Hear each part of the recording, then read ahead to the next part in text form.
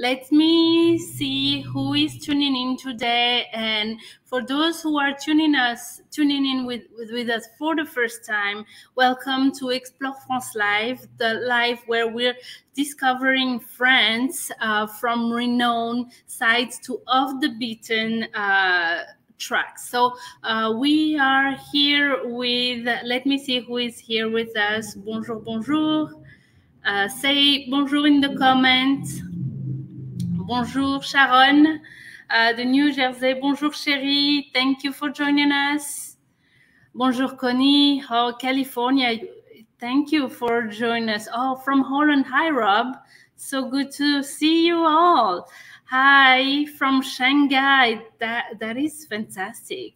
Uh, hello, Pansy. Wow. So we have here people having breakfast, lunch, and dinner. This is fantastic. Hi, Lori.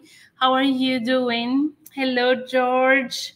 Uh, thank you. Thank you so much. Thank you all for, for being with, with us today uh, for a, a, new episode. So today, um, today is a, a, day we're going to talk about a place that I really um, I'm excited about to share. We are going to back to Normandy, and we're visiting the World War II Museum.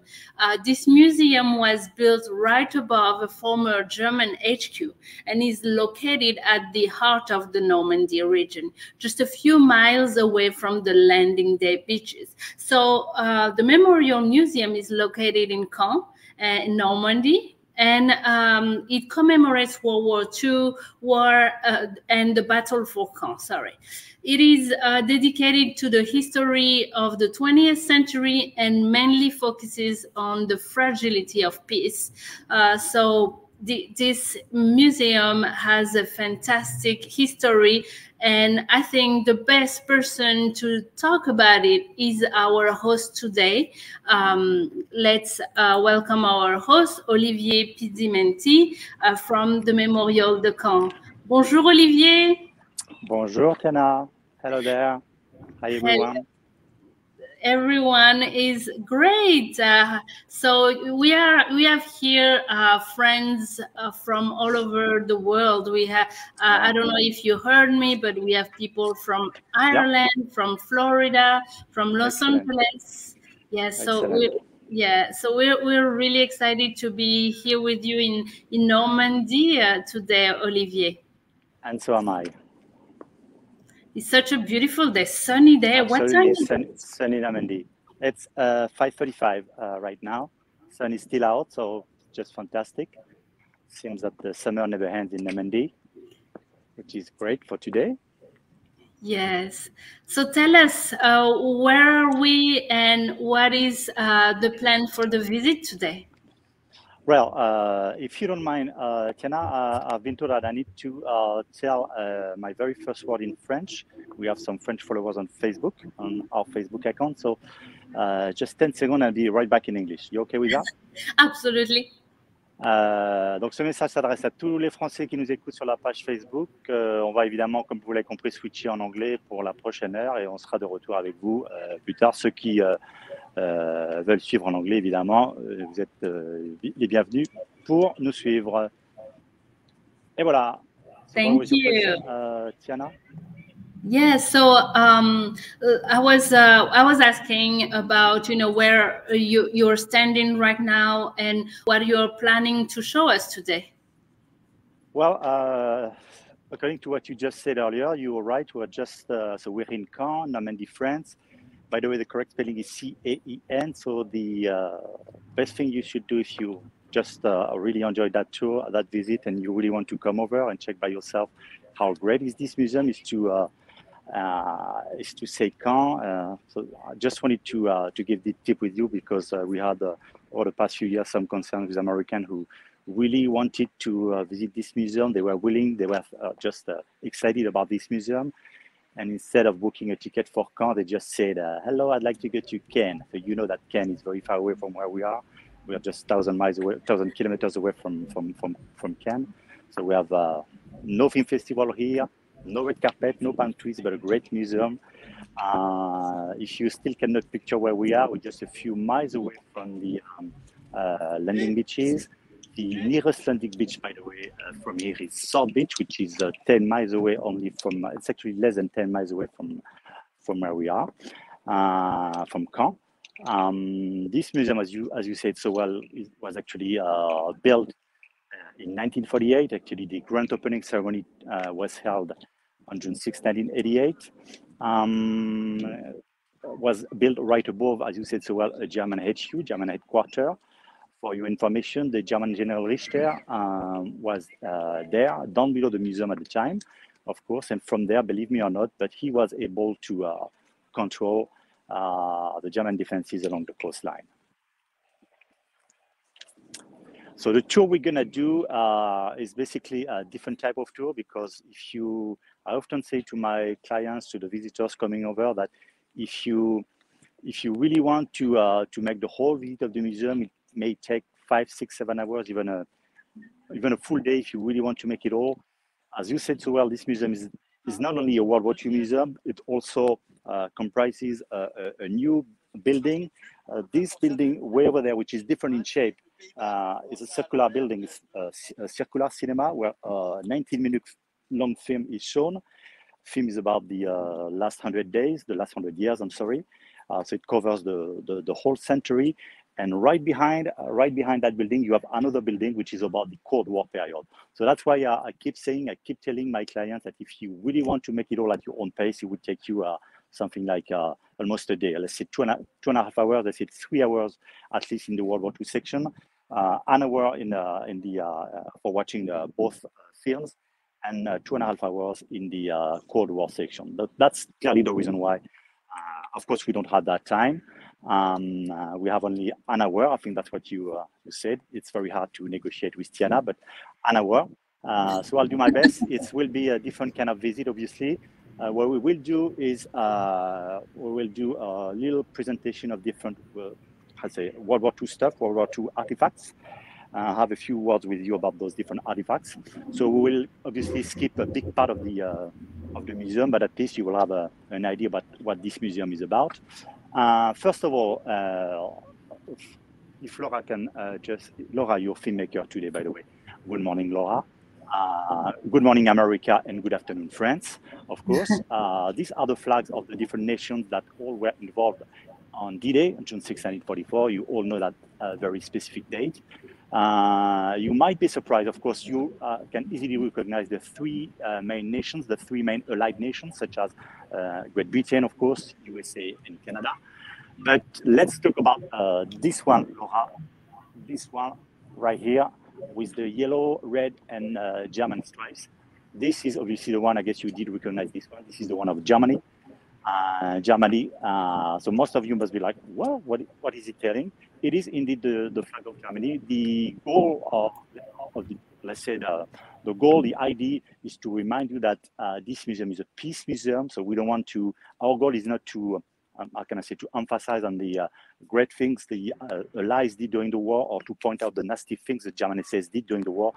Uh, this is not our goal. Our goal here is to remind everybody what had happened during the, to, to cover the last century. And of course, uh, we will uh, focus on the, on the Second War. Now, this is the front wall and the original building. This one was actually uh, officially opened on June 6, 1988. Uh, let's talk about the front wall, first of all, which was done with the famous limestone. Um, it, you might see, uh, thanks to Laura, a French sentence.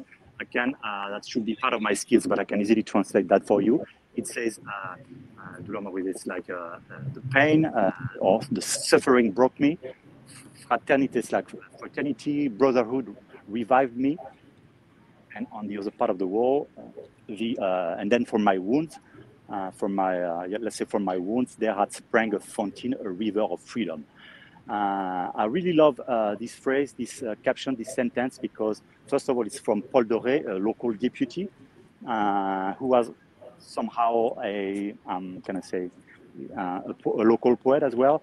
He's talking about the city of Caen uh, the, the sentence is actually female gender because uh, of the two E at relevé, for instance. Hope you understand what I'm saying. But this is actually a tribute to the city of Caen. and all the different cities that uh, suffered during the war during 1944. You know that city of Caen, and that's one of the reasons this museum was built. Uh, it's a tribute to those different cities. 20,000 civilians were killed during the Battle of Normandy. So this is uh, basically the uh, the meaning of that sentence. Hope you're all ready. You see, it seems like the, we're still in the summer. We have a lot of visitors today. Um, let me tell you as well uh, a few words about the uh, entrance of the museum. Looks like it doesn't look like an ordinary uh, entrance. Looks like a break through the Atlantic Wall. This front wall is representing obviously the uh, German Atlantic Wall. I guess you can understand what the uh, Atlantic Wall is. Atlantic Wall was a German fortress built uh, starting from Norway, built all the way. I mean, starting from Norway all the way down to the Pyrenees on the western part of the, the um, of Europe. And that entrance obviously is symbolizing the breakthrough uh, the Atlantic Wall, June 6, 1944, of course, when the landing took place. Um,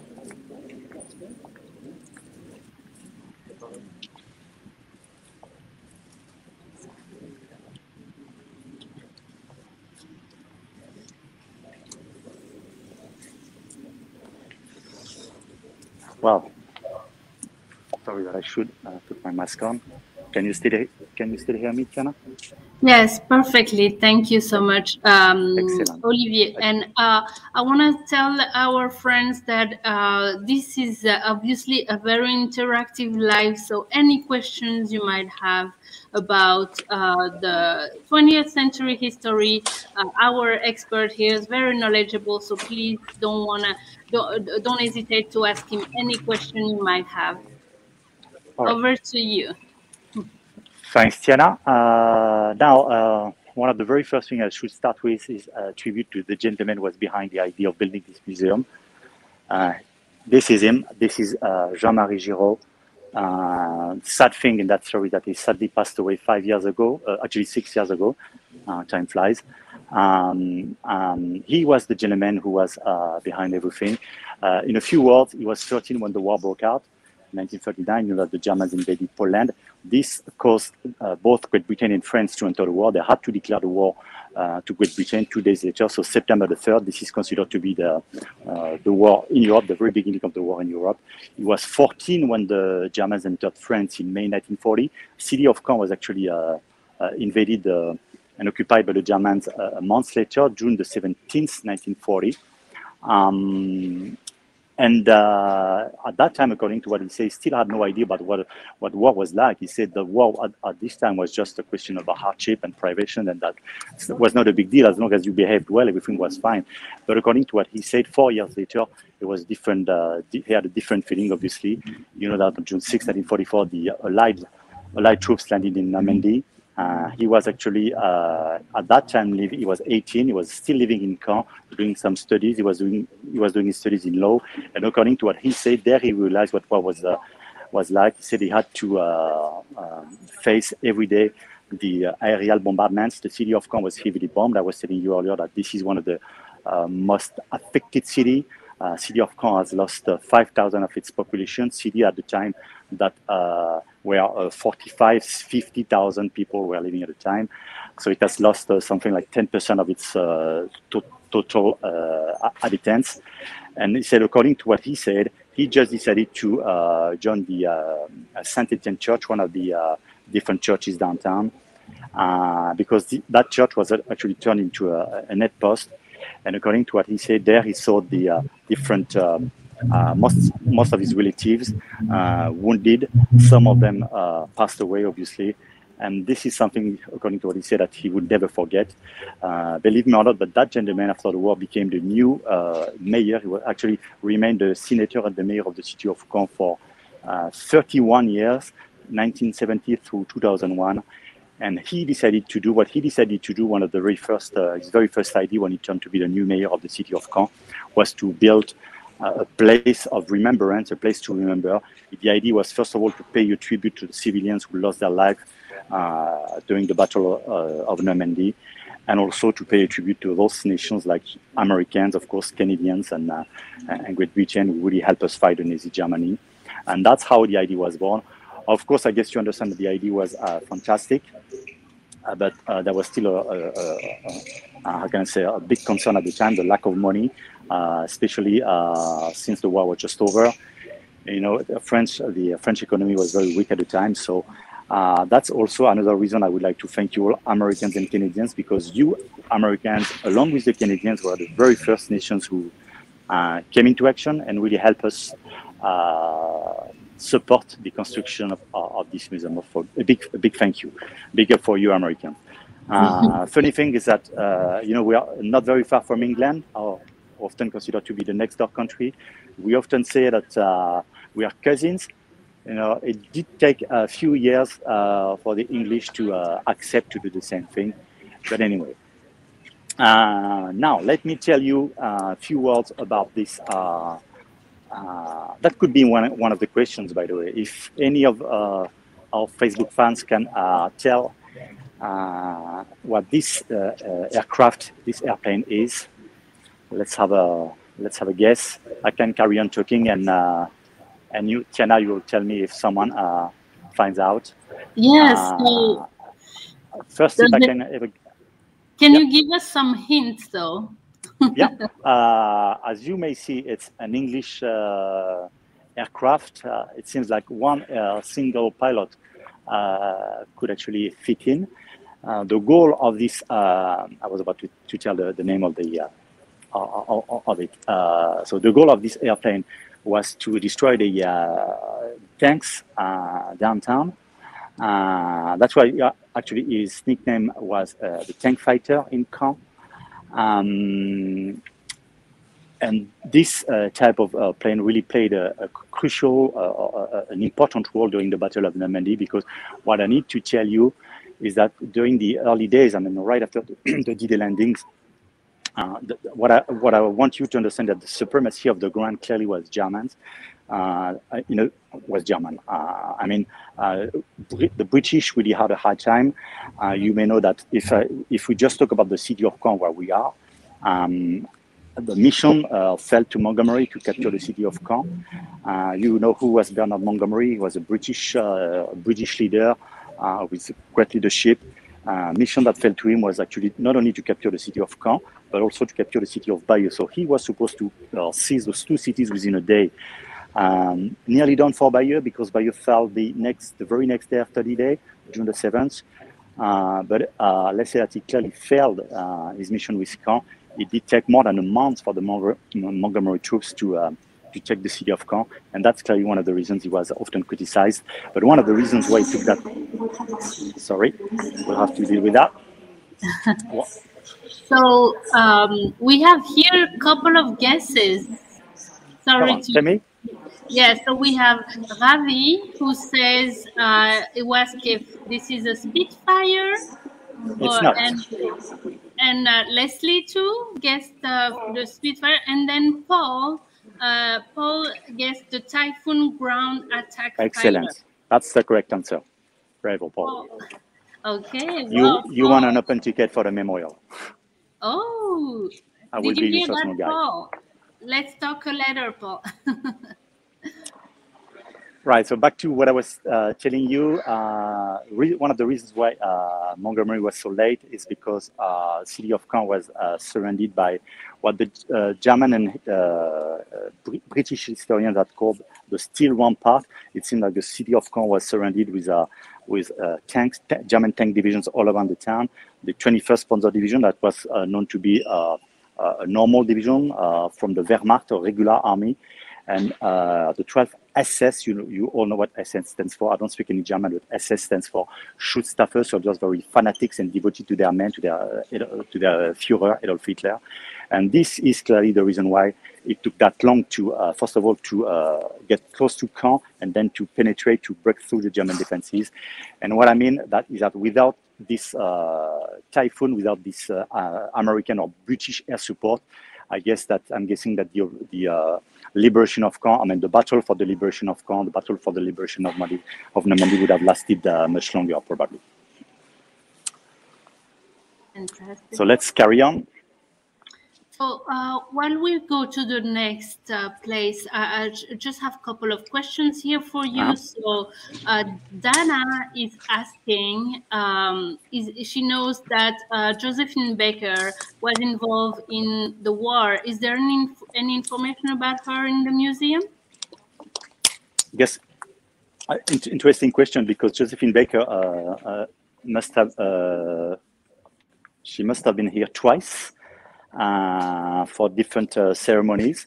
She was, of course, uh, um, one of our VIPs. But yeah, she she she was there after the war, and she did the best she could during the during the war to help um, to, to help people. Yes. Shall we carry on the visit? Oh, yes, let's go, carry on. Uh, hopefully you uh, can see that uh, Red Cross, meaning that this uh, little type of car was uh, used by the uh, Red Cross services in Normandy, I mean.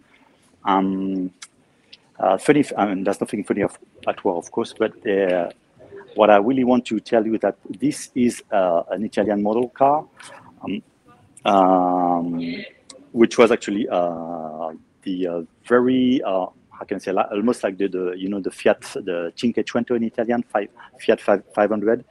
Uh, this was the Benito Mussolini's idea. His idea was actually to give every single Italian being, every single Italian uh, individual a chance to of becoming a, a car owner at little cost. Uh, but what is very interesting in that in that car, not only that it was used by the by the Red Cross services, but Adolf Hitler himself was so impressed about the about that car that he would soon ask uh, later ask uh, Ferdinand Porsche uh, to design the same, uh, the new type, the same equivalent of car. And that's how right away the uh, very first Volkswagen models were born. now, hopefully Laura will climb up this little step. Please do not fall. And you can therefore have a look to this uh, uh, cannon, which is an, one of the um, how do you say, uh, anti-aircraft cannon uh, anti-aircraft that could, believe me or not, that fire more than more than 800 rounds per per, per, minute. Uh, something unbelievable at the time. So, needless to say, was particular, particularly uh, feared by the by the Allied pilots, British and American pilots. So, what the Germans did is that they often camouflaged this uh, this type of gun in uh, what we call the hedge hedgerows of Normandy, I don't know if you're familiar with this American uh, hedgerows of Normandy, uh, were some fig trees, fig trees that you just couldn't uh, couldn't see anything through. Uh, Germans actually uh, took advantage of the whole situation. Uh, one of the things I would like to, to, tell about the, the, the, hedgerows of Normandy is that the Germans never planted those trees. That's one of the questions I've been asked very often. Germans never planted those trees that have been planted here in Normandy. They are part of the what you call the bocage in Normandy. Uh, most of the trees have been planted here for decades and for centuries to, in order to uh, protect uh, their dairy cattle from the wind and to enclose, by the way, the, the dairy cattle. But this actually offered the German uh, a, a, very nice hideout, and many Germans took advantage of that situation on, on the day and the following days after the Battle of Normandy. So, meaning obviously many Americans were killed because of those uh, bloody trees. Uh, now, a few words about this uh, acoustic mine right here this is one of the uh, mines that the Germans dropped from their from their airplanes. Few days after D-Day, I would say, uh, uh, one or two weeks after D-Day, it seems that the Germans realized that uh, the landing on D-Day was not the uh, the only one. They were it was just the very first uh, landing of a large series of different landings. So what I mean, what I want you to understand is that a large number of battleships were every single day were landing on their on the Normandy beaches. So in order to hamper, in order to slow down the uh, arrival of those troops, Germans had dropped from the air uh, tens, uh, dozens of acoustic mines like this. Those mines were so well sophisticated that they actually could react to uh, magnetism, they could react to uh, pressure change, they could react even to the sound of the of the vessel's propellers. Uh, if you want to, if I remember properly, correctly, the third week when they began launch, dropping this type of this, this type of of mines. Uh, between the 22nd of June and the 29th of June, within five days, they had uh, already uh, destroyed uh, 25 vessels, uh, 12 uh, in the off Cherbourg. near Utah, and the rest were destroyed between Gold, Juno, and Sword Beach in what the English say English call the um, English Channel. I voluntarily said English called uh, this channel the English channel. In my mind, there's nothing English in that channel, but that's just the way it is. we just say La Manche in French, which is uh, like the sleeve or the name of the department where Utah Beach is uh, located. Few words about this uh, anti-tank gun designed in 1938 by the German uh, firm I don't remember, uh, just came out of my mind the name of that uh, film. But uh, even though it was designed in 1938, it was actually used in 1941 during the Operation Barbarossa. Uh, Barbarossa was the code name uh, for the uh, invasion of the USSR. You may know that Adolf Hitler wanted a name that could stand out, and he voluntarily picked Barbarossa because Barbarossa was the name of the, the as far as I remember, the very first German emperor back to the 12th century. So this type of gun uh, turned out to be very effective with the uh, medium armor or the small armor, but proved to be very ineffective when the armor was thicker. So it was then uh, little by little uh, removed. And uh, uh, it was not, in 1944, we, there was, it was not very unusual to find this, this type of, this type of um, anti-tank gun. Now let Uh, Olivier, I think we, we lost um, the sound. Sorry.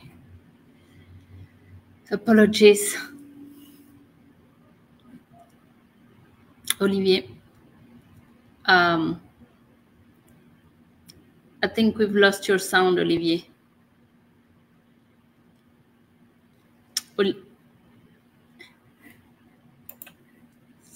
I'm sorry, everyone. Uh, we just have um, lost briefly Olivier's sound, but we, I'm sure we'll be back briefly.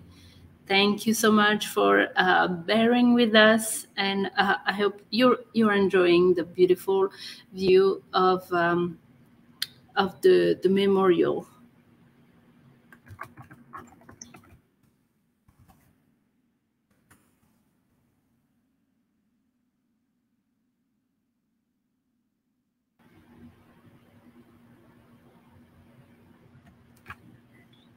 So um, in the meantime, I just want to answer a couple of questions that I saw in the in the comments. So um,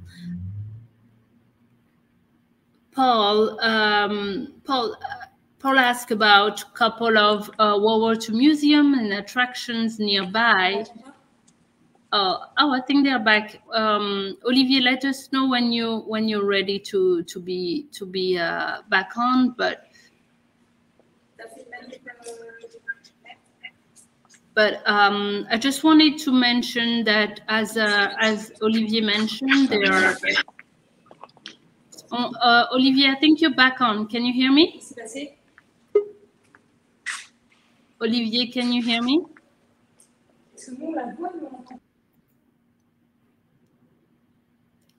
Oh, so, so, so sorry, guys. Um, the the gods of uh, technologies when uh, yeah it happens. Thank you so much for uh, bearing with us. So yes i was mentioning of course you can visit uh, the, the the landing um, the landing beaches right there uh, that are just a few miles away.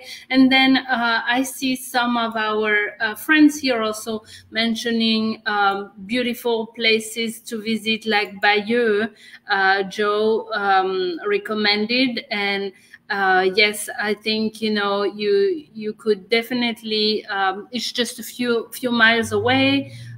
Mary recommended Honfleur, and of course. Um, there is also the Impressionist um, uh, side of Normandy that's also beautiful to visit there. So uh, th th there is so much you can do uh, and and uh, around around the area of Caen. So um, yes, uh, yeah, yeah. Glennis was um, yes saying the the landing landing places are, are uh, amazing too. So um, I think they should be back with us uh, shortly. Oh. Uh, yes. I think. I hear you. Yes, can I you hear hear you me perfectly? Yeah. Great. I don't know what happened. Oh, it's probably just you know uh, technology. That's um, that's what happened. It's beautiful at the same time for us to be to be live with you at the sundown in uh, in in Normandy. But but you know it's uh, some sometimes it can be um, it can be tricky. Yeah, absolutely. Yes. So, So shall uh, we carry on? yes, yes, absolutely. Uh, well, what I was uh, talking was uh, I was uh, about to pay a tribute to uh, an English citizen. It was actually an, English engineer living in the uh, Yorkshire, northern part of England. His name is Donald Bailey, and he's the gentleman who designed this new type of of bridge in 1941 in order to make up for so many bridges having been destroyed all over Europe and in northern Africa. He designed this new type of bridge that could be pretty much in the same way as a uh, reassemble uh, as a Meccano, Meccano model, as a Meccano set. Uh, particularly that all the components were made of uh, steel, like pins, like uh, uh, balls, rivets. So it, it then offered a, a large va- variety, a large array of different ports, of different constructions. This one, for instance, is actually one that was uh, rebuilt, uh, of course, specifically for for for for, the, for this museum. But let me tell you that only 50 men and four hours were uh, necessary to rebuild to set up a 25 meter long bridge. And once completed, a 40 ton uh, tank or 40 ton truck, whatever. Uh, could actually uh, use that uh, that bridge. I mean, the bridge was uh, capable of uh, withstanding, of supporting one of those uh, those tanks. Uh, uh, Eisenhower, the Supreme Commander, or Ike, that's the nickname he was uh, given during the war. He once said that this innovation was one of the three greatest innovations at wartime, along with the heavy bombers and the and the German radars and, and the radars, I should say, not not necessarily necessarily German radars. Now, I guess uh, I heard uh, at the very beginning when you uh, the very beginning of the visit that uh, few there were a few fans from California. I love your I love your this destination. By the way, I've been there a few times. Uh, so you may know that uh, George Patton, uh, commanding the Third Army, was from there. Uh, this this is not a, a personal tribute to George Patton, but what I want to um, tell you is that if you Americans are fan of the uh, Army, the Third uh, Armored Division, you can actually uh, follow the Liberty Road.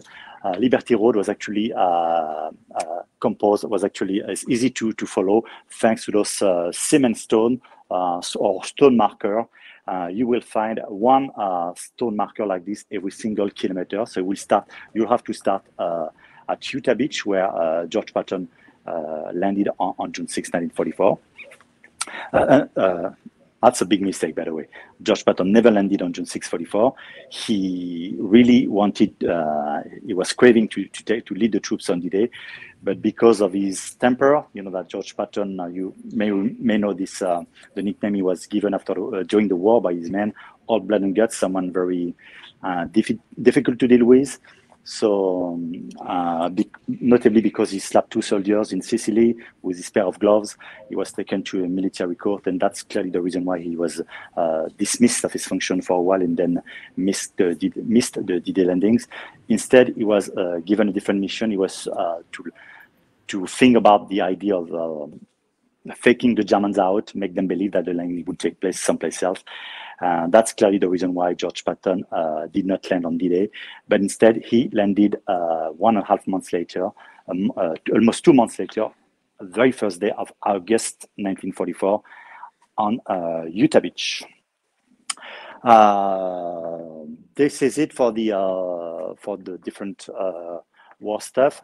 One of the last uh, thing I would like to tell you before I take you to the um, uh, D-Day room, the room dedicated to D-Day, is that you uh, followers, uh, Facebook followers, had, will just miss the most important part of the museum.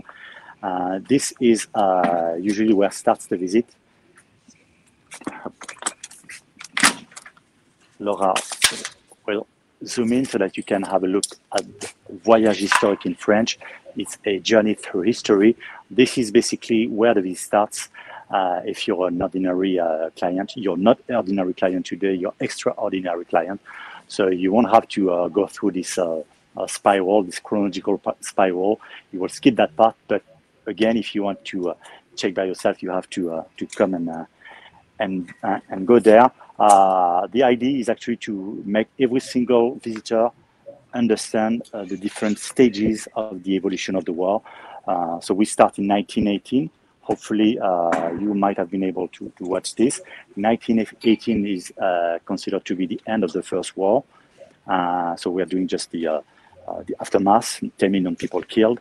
And, def- and then from there, we just uh, pass by. I mean, you, if you want to come over and visit this museum, you will pass by the different posters, videos, um, from, from that particular time. So we'll start in 1918 and you will end up your visit in 1940, 1944. Um, this is actually where you will end up your visit right here. And of course, you will be uh, automatically led to uh, this room, which is called the D-Day room. It's uh, 200, 250 maybe square meter room, which is only uh, dedicated to D-Day and the Battle of Normandy. Uh, I have, by the way, a very tricky question for you. Uh, you may know uh, that D-Day uh, landing was on D-Day, uh, June 644. That's the, the, the, date, the exact date. I have a tricky question for you. Do you have any idea about the day of the week? That's the another question for you, Tiana. So the first correct answer will get will will get a, a, an entrance ticket at the museum. All right. Okay, so let's see if any of our friends know which which day the, the, the landing actually happened during the week. Does any ha- anyone have an idea? Paul, Pavi, uh, Leslie, what, what, what do you think? Uh, the actual day of the week, of the week, um, from Monday to. So uh, okay. maybe, maybe we, have, we can help you out. Yeah, we have a winner here. Ravi says, ask if it is. It was a Wednesday. It was not Wednesday. It was not Wednesday. Oh, yeah, no. Well, sorry, Ravi. Uh, Mary, Mary says Tuesday. Eh, that's, that's the correct answer. Oh, fantastic. Okay, that's good. Mardi. So it was a uh, Tuesday. Yeah, correct answer. Mardi, June 6, 1944. Uh, anyway, this was just a, a, tricky question and tricky answer. Now let me uh, have a look at the, uh, let me talk about the five different uh, uh, beaches. Uh, if, just in case, guys, you always wondered why and how those names were born, that's something I, I, would like to answer because sometimes people expect something, you know, extraordinary or something scientific. Uh, it has nothing to do with something uh, extraordinary. Uh, mission fell to Eisenhower. You know that I didn't really want to, just wanted to um, keep off his plan. He didn't want the Germans to find anything relating to the beaches. So his idea was to find some weird names. So the mission fell to his two assistants, uh, Montgomery, uh, who was in charge of gold, Juno, and sword, uh, and then Bradley for the Americans, Omar Bradley, the four-star general.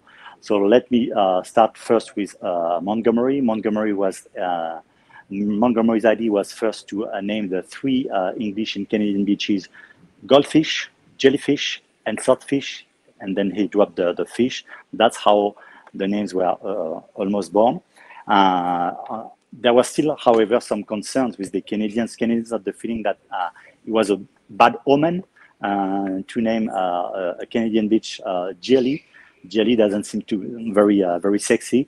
So uh, the Canadian Wing Commander, along with uh, Keller, who was supposed to lead the troops on on, on the Canadian beach, uh, just wanted to turn the, the jelly into something different. Uh, the answer was yes, they were allowed to do that. So what uh, Keller and the Wing Commander decided to do was to use the, the, the name of uh, of the wife of the wing commander. She was named Junian. So his, since her nickname was Juno, that's how uh, was then turned into Juno. That's how the three uh, British and Canadian beaches were born. As for the Americans, same. Omar Bradley did ask his two uh, assistants. One was uh, the question was, "Where are you guys from?" One said, "Well, I'm from Utah." Uh, I guess he was uh, from a small town near Salt Lake City, but he did, did, not mention that he was from Salt Lake City. So Utah was then uh, uh taken, uh, chosen, and the other one was, and the other one said, "Well, I'm from Omaha, Nebraska." That's how the two American names were born. As simple as that. That's a really good fact. Thank you for sharing. My pleasure, Tiana. What's the time, was? 42 minutes? Well, uh, looks like I'm a, a, a, bit talkative. We are running out, we're running late, but we had a five minute long break, so that might be the reason. Uh, we are now, uh, we just entered the D-Day room, and I wish I could start with a brief presentation of these uh, uh, personalities, those big heroes, really a big bunch of heroes. Let's start first with Ike. I've been talking about Ike since the very beginning of this. Uh, this is a gentleman since the very beginning of this tour. He's flanked on his left by Montgomery. That's the uh, British British general. Then there is Leigh Mallory right next to him, who was in charge of the Air Force and is what we call his chief of staff right there. And that's the famous Omar Bradley, who was in charge of the U.S. troops uh, on the D-Day landings. Uh, I love uh, this photograph. If yeah, if you could back up a little bit, Laura. Thank you, Laura. I love this photograph because it depicts the famous room, the, the D-Day room near Portsmouth in the library. It's like a, uh, in Southwick, very uh, very close to Portsmouth, where that picture taken. And that picture was actually taken just a couple of hours uh, before Eisenhower pronounced his famous "Let's go." You know, uh, you may know that the very first landing was supposed to take place on. Uh, most people say on June the 4th or June the 5th, which is wrong. The very first landing, the D-Day landing, was supposed to be was supposed to take place in early May, but because of the progress of the troops of the Allied troops in Italy, they had to postpone it for for months. Then June the 4th and June the 5th were the two opportunities. You know that uh, some conditions had to be uh, uh, reunited like the uh, full moonlight condition. That was in order to ease the um, the, the task of the paratroopers. Uh, a, a, long day. That's why uh, you know mid mid June or early May were were the the, the best uh, days ever. Uh, so this is anyway when uh, Ike when this picture was taken just a few minutes before. just a few hours before Ike pronounced his famous "Let's go."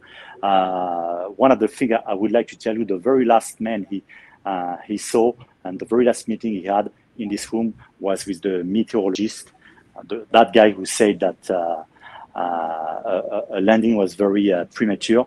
it would be very risky to land in Normandy on, on, June the 5th or, or June the 6th but that same guy uh, went back to the same office and, and told uh, Eisenhower that uh, although the, uh, the next 48 hours would, we, we are going to be uh, uh, very uh, very risky, uh, there was still a six-hour long uh, lull, a six-hour long window that allowed the troops to to land in safer conditions because the because the weather was going to be a little bit better. That's that's the that's the last meeting he had Yes. Now, uh, um, Olivier, uh, just just uh, um, sorry to interrupt. Uh, yeah, no problem.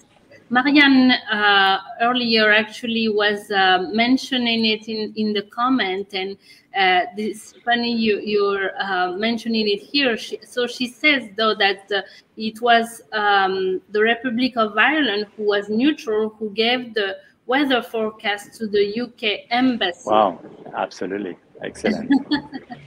Excellent. Thanks for thanks for joining us and participating, and uh, helping do my job. um, well, Laura uh, is now filming the different names of the beaches, and I guess you, uh, hopefully, you can see the, the, the timing.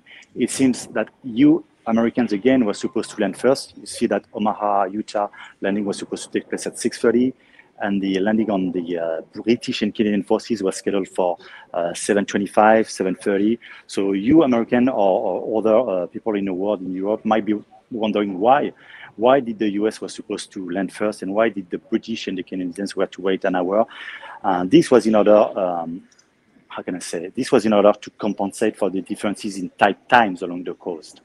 Uh, you may know that on D-Day, you may know that on D-Day, it was absolutely vital uh, to land at low tide. The idea was not to repeat the same mistake, mistake that had happened in Dieppe two years uh, before, two years prior to the D-Day landings. Uh, Winston Churchill was behind that. Uh, he sent uh, 6,000 men. His idea was just, it was like almost like a rehearsal to test the German uh, German defenses. He knew that he was fully aware that for the operation of Overlord to succeed, they really needed a port. So what Winston Churchill decided to do was to make a, uh, was to at least to try to capture a port by a frontal assault. So 6,000 men. They were, I must say, mostly Canadians. There were a few Americans as well, and a, a few uh, English and a, and a, handful of American soldiers. The mission that fell to those men was to uh, land on Dieppe uh, you, just in case you uh, you don't know, you cannot picture Dieppe, Laura will uh, help you locate Dieppe. This is right here where is Dieppe. Uh, so it's like in uh, upper Normandy. We are right now in the lower Normandy, and you see that Dieppe is not that far from the uh, from the um, from the English coastline. So the reason why the reason why so many Canadians lost their life on Dieppe is twofold. First reason is because they all landed at high tide. And what I mean by that is that most of the German obstacles were actually uh, underwater, so they, could not be seen. Most of them were like a, a concrete triangle with a T-mine on the top. They were designed to rest on a sea bottom, but every single every single uh, concrete uh, triangle was a mine on its top and they were obviously designed to, to blow up the landing boats, and that's how, and that's the reason why clearly so many Canadians lost their life on on Dieppe. And the second reason is because they landed they landed uh, in front of a port, and the port at that time, 1942, all the ports had been turned into uh, very terrible fortresses. So Winston Churchill. Uh, you know how the English medias can be uh, sometimes. They were they can be very tough, can be very uh, very sticky. He was pretty much criticized, but he said well, we have learned something. Remember that this was just a test. We have learned something. Um, next time we will have uh, to uh, bring our own port. And the reason why I wanted to share that story with you is because this really, um, uh, this really is the reason why the uh, English engineers have built two ports on D-Day. I mean, prior to D-Day landings, it took 18 months to design and to build the famous mulberries. Mulberry were the code name given to the uh, given to these ports. Uh, now, uh, few. Uh, are you still here? I, I, I cannot yes. hear you, Tiana. You're still okay? No. Yes, very oh, much enjoying uh, this tour. excellent. Are we still on time? Uh, we are. Um, if we are running up behind schedule, you just tell me. Yes, we can we can uh, we can move on to the whichever place you want to show us. Okay. Um, maybe this one. That's one of the uh, one of the picture I like the most in a museum. One of the uh, greatest picture ever. If Laura can just zoom in on the face of that gentleman.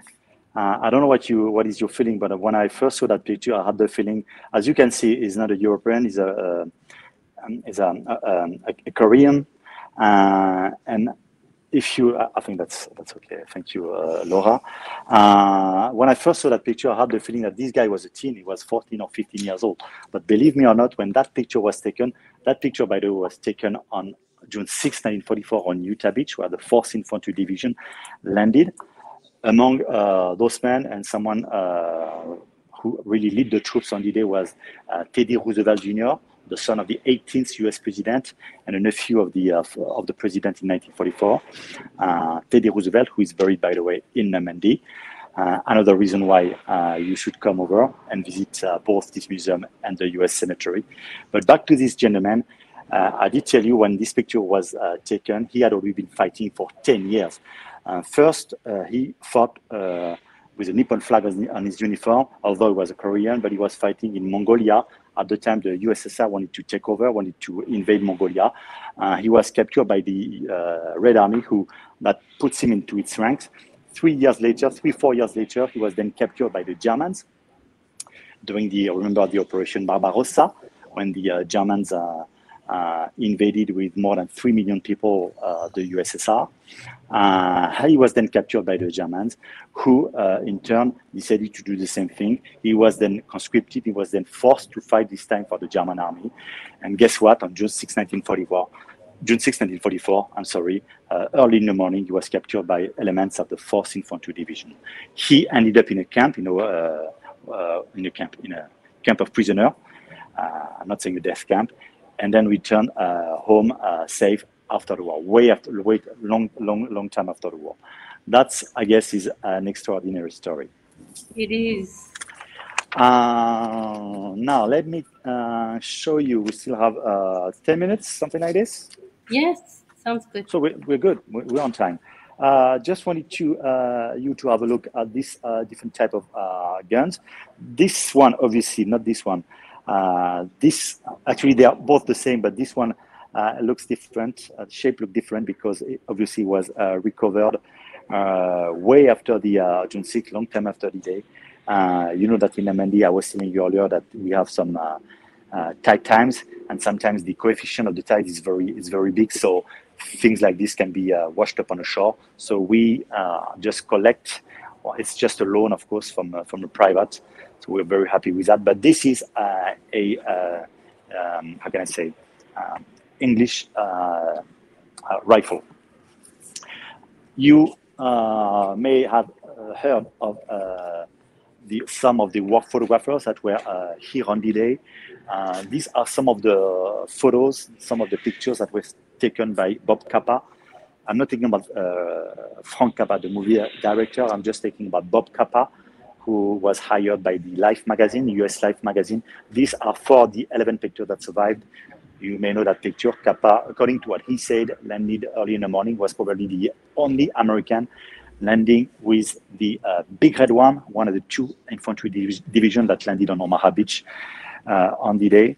That division, unlike the 29th, was composed of very experienced element. He landed right below the cemetery, where the cemetery is today. And according to what he said, he took over 120 different pictures. Uh, but back in London, uh, pictures uh, were given to his, young assistant. And according to what the media had said, it seems that because of his uh, of a mistake of the young assistant, 11 pictures survived only. So this probably uh, uh, turned those pictures so, so, so famous. I was earlier uh, telling you the reason why this museum was built. It's a place of remembrance. Uh, the idea is to remember uh, what you Americans did to help us fight the Nazi Germany. And the uh, second idea is to uh, pay a tribute to the cities like Caen, like Saint-Lô, like Cherbourg, like Le Havre, that were just uh, wiped out. It seems like 25% only of the town was still uh, was still standing. The rest of the of the town was just uh, wiped out. That's the word I was using. Uh, city of Caen was heavily bombed, and that's one of the main streets. Picture of the one of the main streets downtown. I guess, and hopefully that gives you an idea about what life was like at that time. Um, now, if Laura can just zoom in. This is one of the four or six millimeter, uh, uh, how can I say, shell, uh, four or six like uh, millimeters, like 40 centimeter uh, wide. That's one of the shell that managed to hit the bell tower downtown. So for your information, believe me or not, but uh, is 10 miles away uh, from the from the from the shore. That ship, the Rodney, which is an English battleship, managed to uh, hit the bell tower 36 kilometers away. It's like uh, 22 miles, something like this, 22 miles away. Uh, this, hopefully, this uh, uh, fragment of shell is actually, uh, I'm not saying this is the one that hit the bell tower, but this is, if you want to see how big it is on the scale of my hand, that's one of those four or six millimeter shell that hit, that was targeting the, the bell tower. I must tell you that in the early days of the Battle of Normandy, many Germans, uh, not, not necessarily German snipers, but the German who were in charge of the transmissions and the communications were positioned on the bell tower. The idea was to uh, overlook the whole thing and uh, and give the uh, positions of the uh, of the enemies. So no no wonder why those uh, um, bell towers were voluntarily locked off. Uh, another uh, great story I would like to share with you, and a big up for the Canadians, who, along with the Canadians, were the very first to uh, enter the city of Caen. Those three men, uh, very likely from three different regiments, uh, entered the city of Caen from the west, N13, that means they came from the west.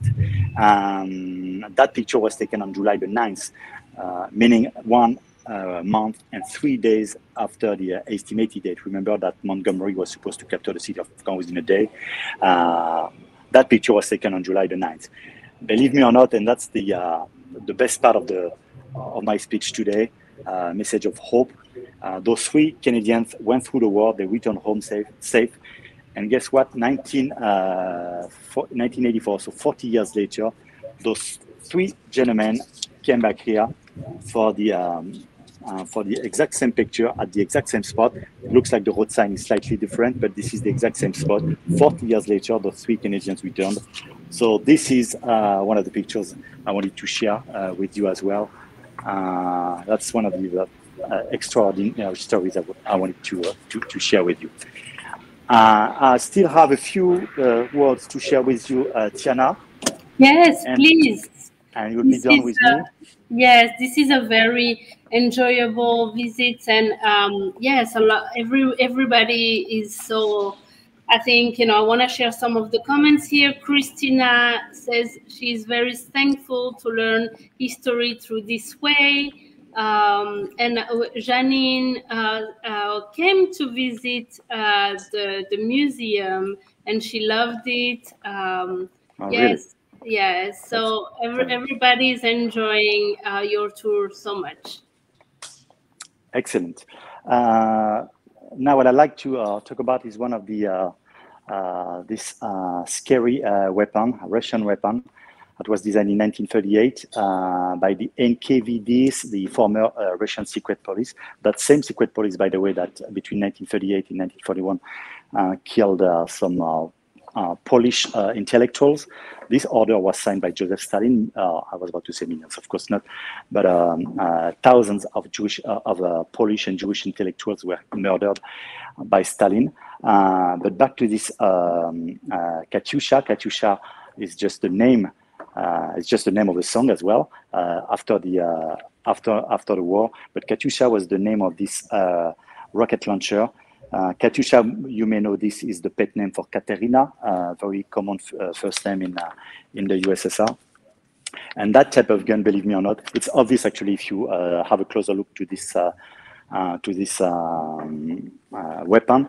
it could fire eight, eight and eight, 16 rockets simultaneously, so something very scary. German was so scared, by the way, about the, the strident and, and um, how can I, the scary sound uh, of the uh, rocket fired uh, that they dub uh, this uh, weapon um, uh, Stalin's organ, organ of Stalin. And the last, last but not least, this is one of the most common tank between 1941 and 1944 used by the Allies. This is one of the American uh, Sherman tanks, even though this one was actually manufactured in Canada. Uh, but this is one of the uh, very uh, common tank, the M4 M4 Sherman tank, that was a little bit lighter than the uh, any uh, any of the of the German tanks. Most people say that they could not compare. They were not, they could not match the the German tank. It, it is true that the, the armor of the German tank was much thicker. The range was much uh, longer. Um, but um, uh, the range was much longer. But uh, what, what I would like to, to say is that um, uh, those uh, Sherman tanks were much more, much more, uh, they were faster and they were mass produced. That's the most, uh, that's something very important. You know, when, when one uh, Sherman tank was destroyed, uh, two, maybe three were landing every single day by the end of June. Uh, the Americans were able to uh, uh, unload hundred of tanks like this. So I'm not saying it was not a big deal if one was destroyed, but in Germany, on the other hand, when was when one when one German tank was destroyed, they were done. You know, they were um, everything was over. So now we are just leaving as you uh, can see the World War II area, and I will uh, take you. Uh, this is, I'm almost done. I just want, I just have uh, to hold your attention for for two minutes, and I have a few words to share with you. A few words about this uh, circular cinema right here. This is uh, one of the one of the theaters where you can spend half an hour. That's one of the movies that is shown. Film lasts uh, 90 minutes, runs every uh, runs every 30 minutes, every half hour.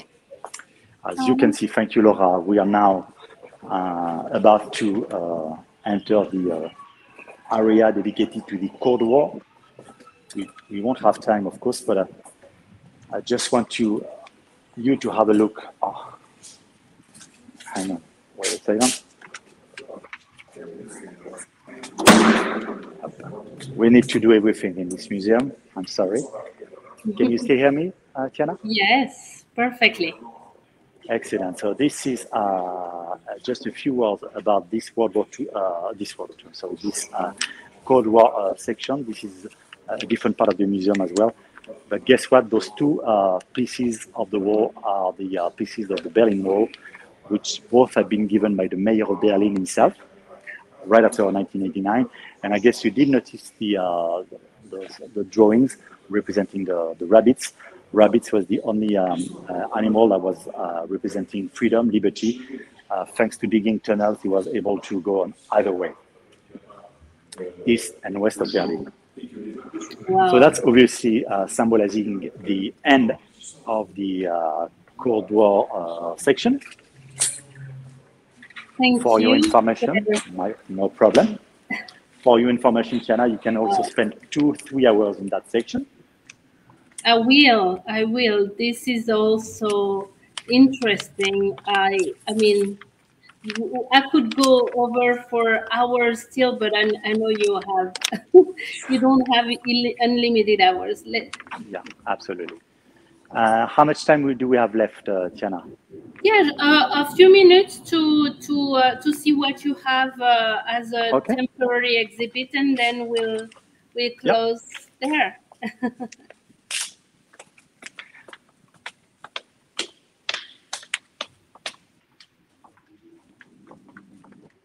I think this part is uh, also interesting for our American guests. Um, when yeah. visiting. And this is a preview because I, am not sure if um, if this is going to be uh, available uh, for a while.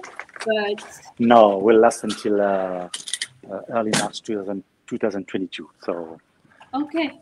Um, so this is uh, one uh, of the uh, exhibition spaces of the museum. The particularity of this uh, um, of this space is that it it is uh, a space for temporary uh, exhibition.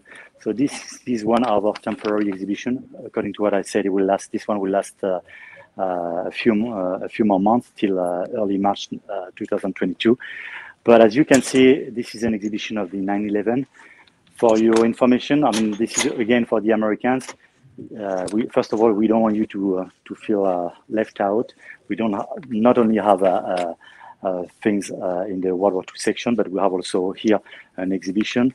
Uh, for your information, this is the second time that we we, we got this type of exhibition. we did the exact same type of exhibition 10 years after the, after 2000, 2001 in partnership with the New York State Museum.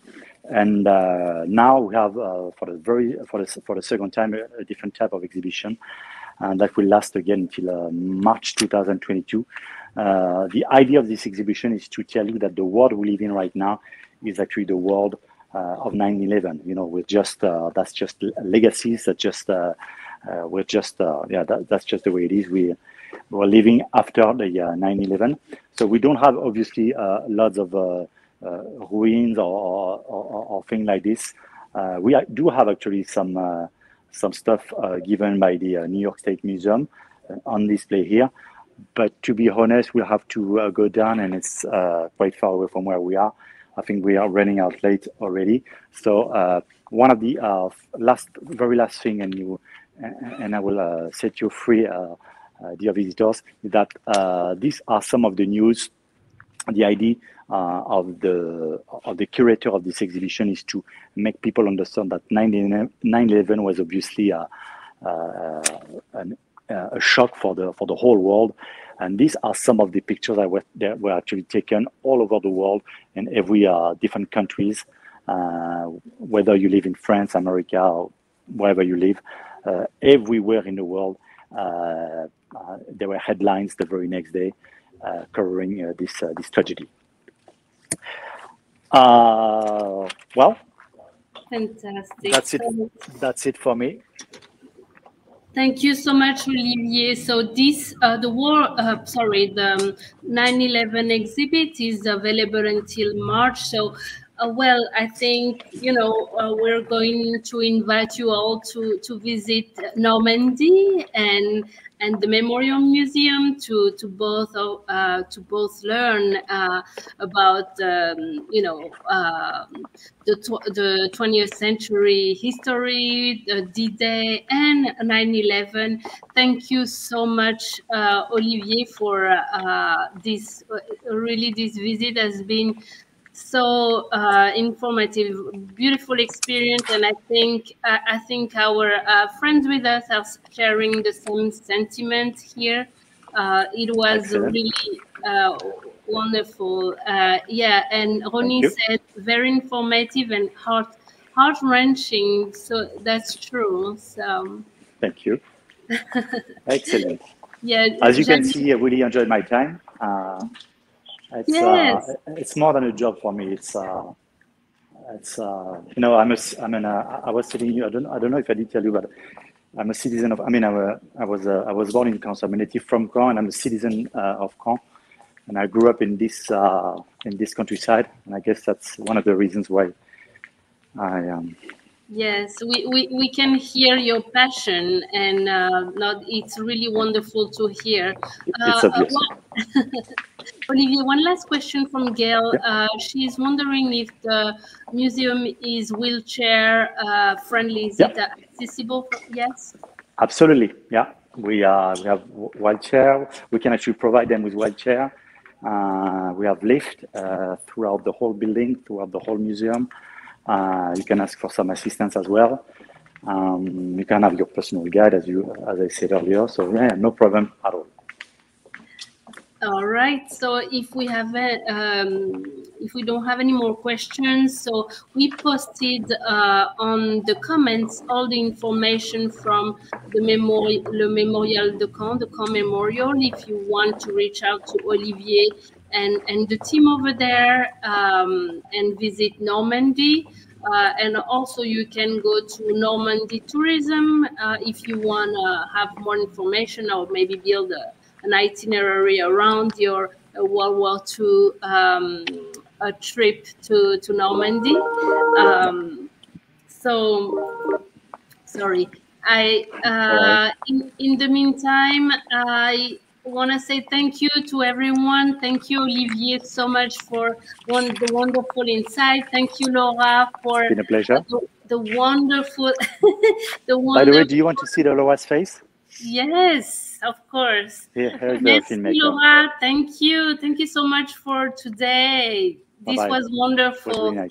And thank, thank you. you. no, thank you, Valerie from the Normandy Tourism for coordinating with us. Uh, uh, thank you, everyone. She's right there. Yes.